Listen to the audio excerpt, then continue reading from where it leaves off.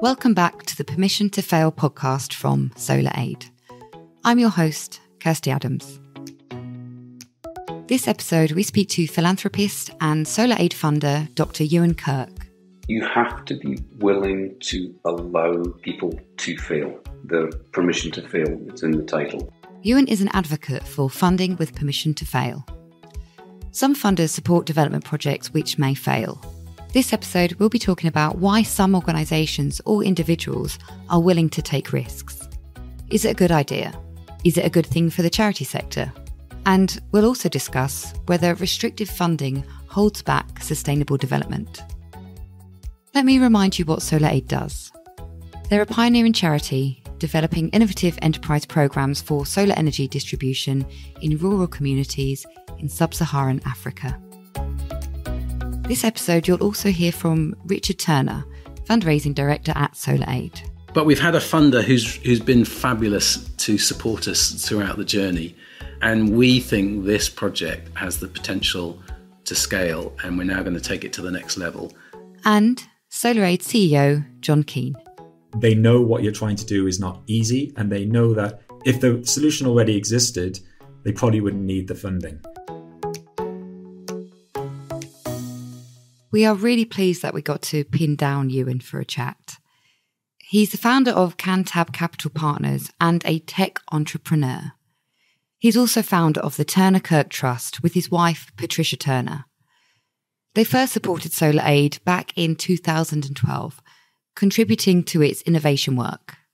Most recently, their trust has supported part of Solar Aid's project called Light a Village in Malawi. I mean, I am a massive geek. I like STEM, yeah, and STEM across all of its types, like science, technology, engineering, mathematics. And there are lots of things that we can do there. And being involved in things like that, either on a professional basis or in this case in a philanthropic basis, is something that makes me happy. So I think I should do that. Similarly, my wife is really focused on early stage child development and conservation, and that's something that she feels passionate about. And I think it, it is important, and I guess it's probably rare for philanthropists to get involved in something that they don't feel passionate about. But I think it is important to have that excitement enjoyment in, in doing those.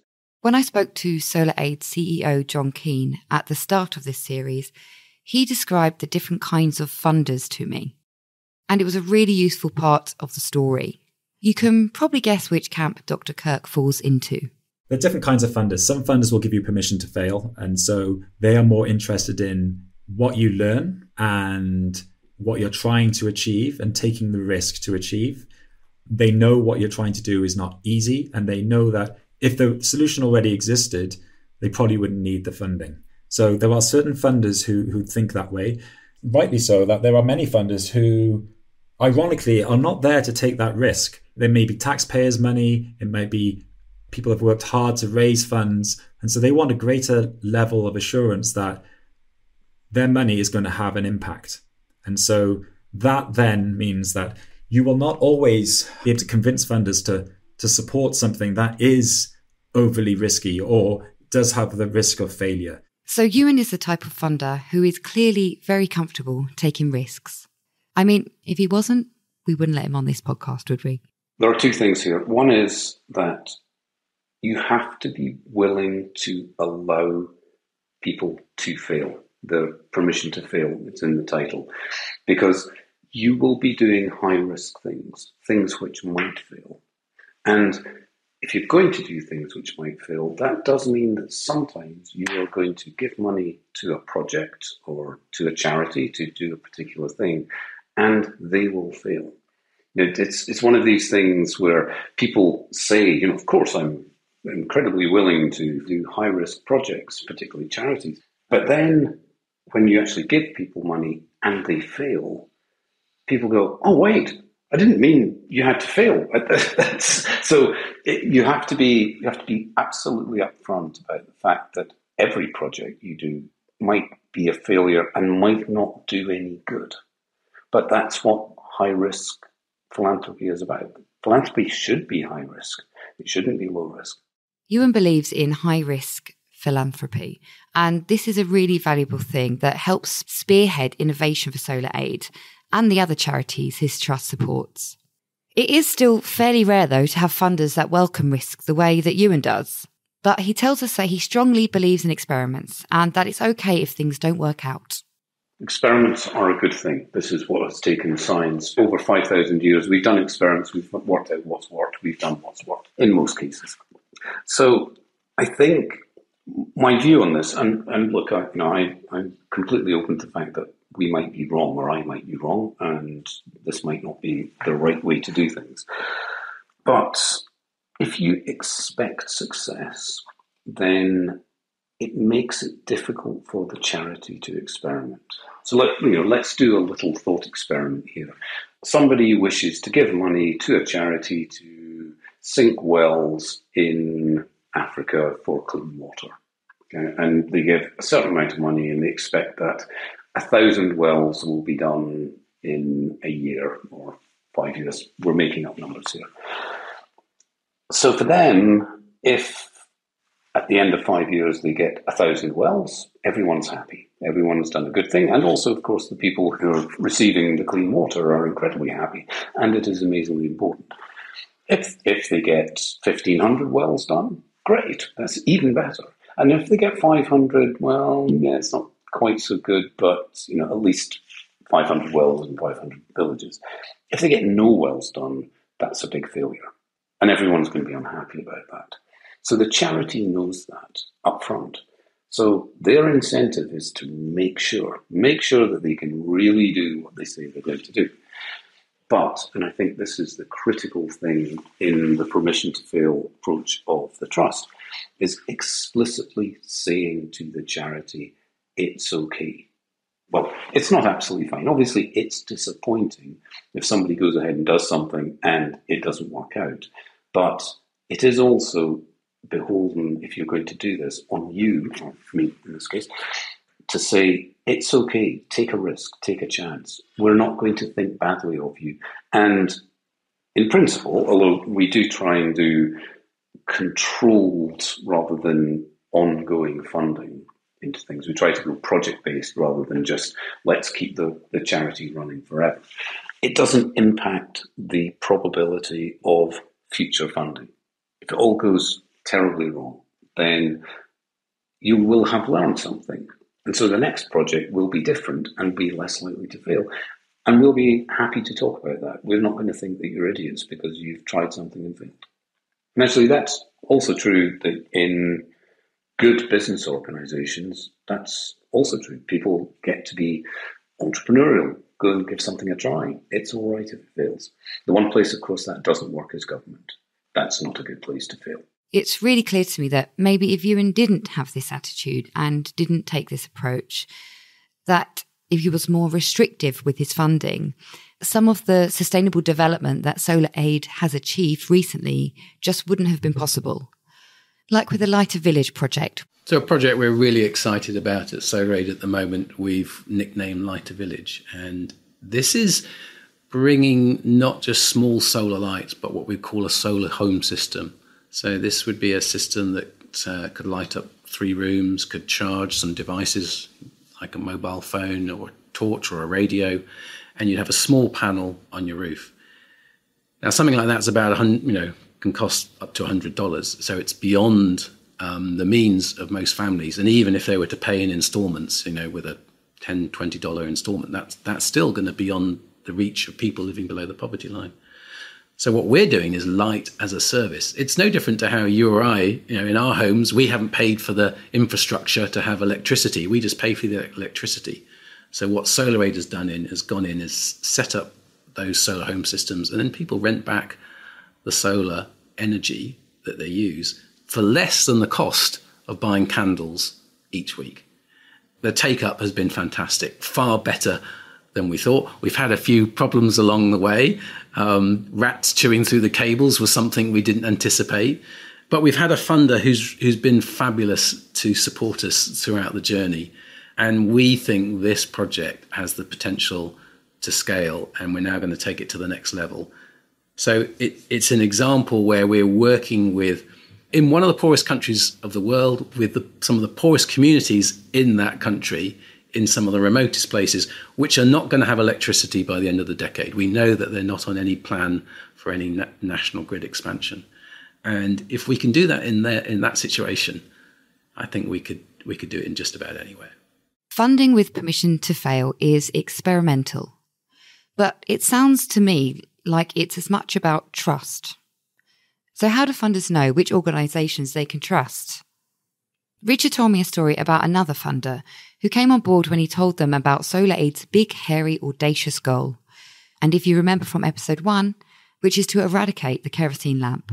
I recall meeting a supporter. This is what we would call a major supporter, someone who was willing to give significant funds, but he hadn't supported us for a long time. And uh, I, it was my first meeting. We we're meeting in a cafe in London, and I shared with him our new goal. And I also put on the table a kerosene lamp. And he immediately responded and said, You know, that's fantastic. Now I get what you're up to.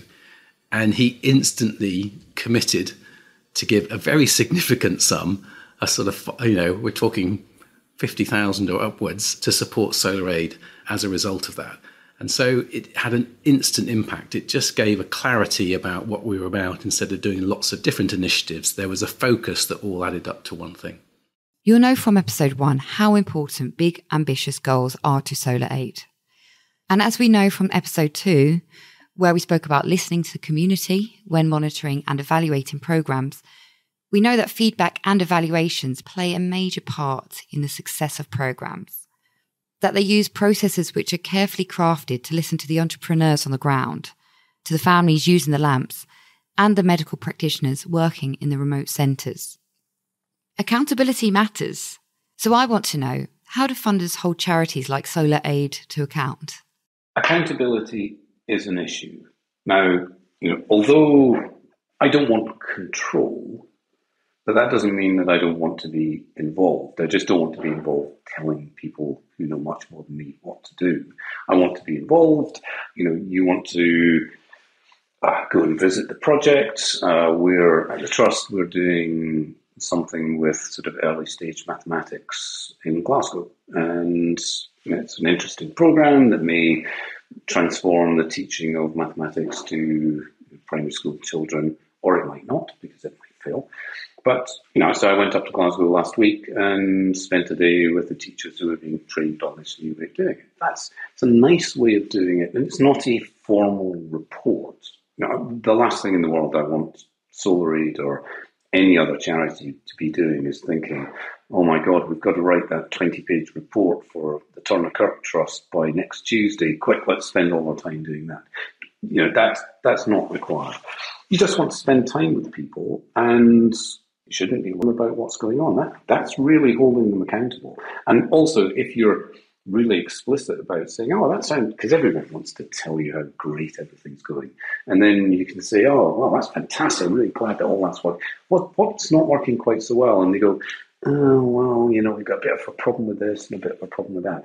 That's the sort of accountability that you want. I mean, as long as you choose people who are honest and passionate, then they're going to do the right thing your level of accountability is maybe just to help them not continue to make mistakes or to think about other things or to to come up with problems and ask for advice which of course they are completely within their rights to ignore because they're the expert not me.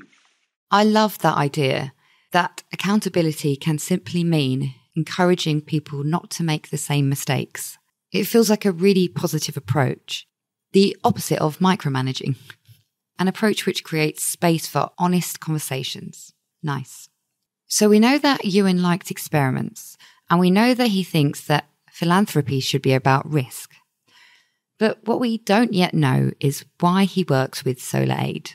Why Solar Aid is a really good question. And I'm not really sure I've got a good answer beyond meeting John and just being bowled over by his enthusiasm, his vision for it. And of course, his vision is enormous. And lots of people have huge, enormous visions.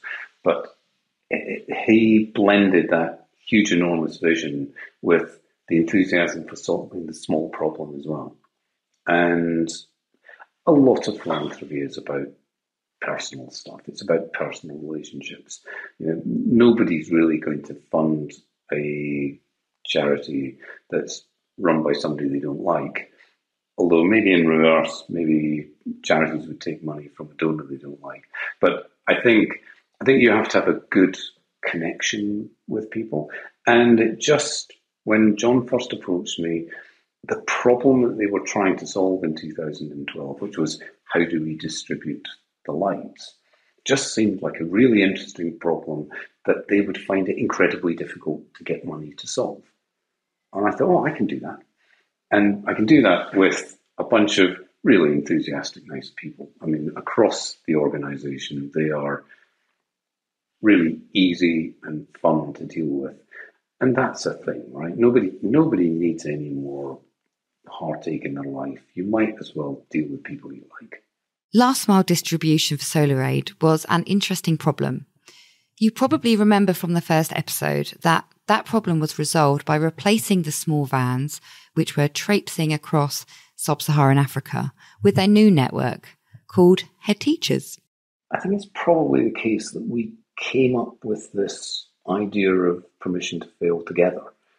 Yeah, I think I think John, when I first met him, and you know, this is uh, well, eleven years ago, and you know, probably lost in the mist of time, and my brain doesn't doesn't remember everything, but remembers quite a lot. But I think I think we kind of jointly came to this view that we didn't really know the solution to this problem, and wouldn't it be interesting to run some experiments, for want of a better word, in Malawi to see what the answer is.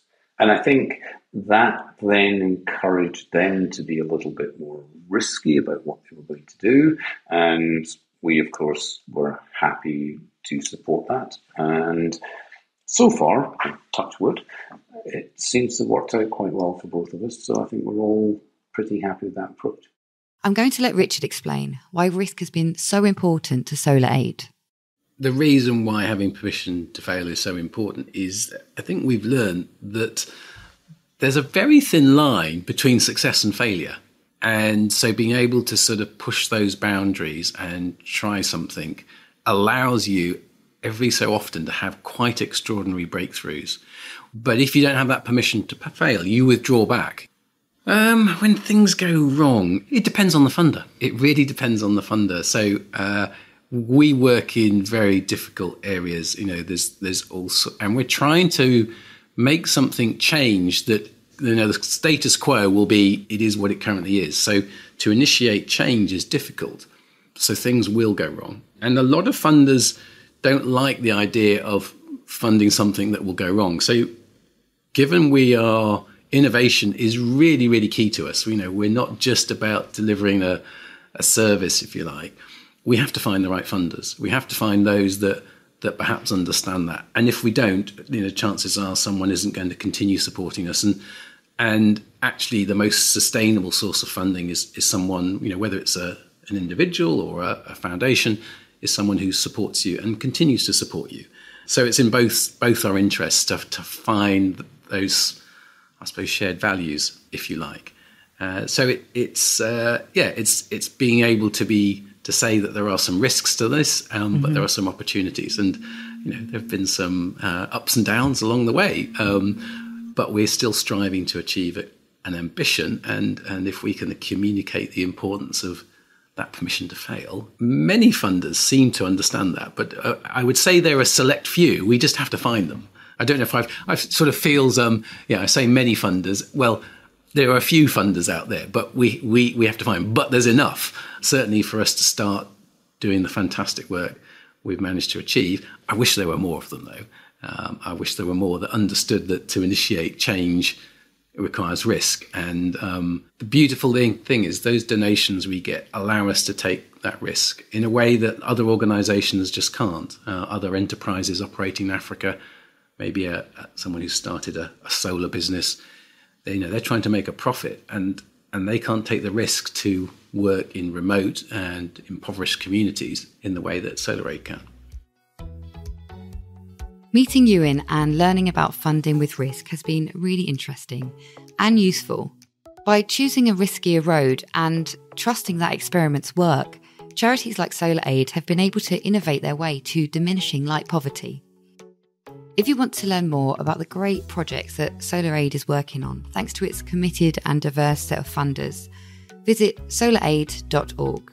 While you're there, why don't you take a look at Solar Aid's shop? Every purchase from its store supports Solar Aid's work. You can buy a virtual gift, e cards, merchandise. Visit shop.solaraid.org. And look, I know you're busy, but if you could follow us and leave a review, that would be great. Why don't you tell us how taking a risk in your charity or business has led to some really good results? That's all from me for now. See you next time.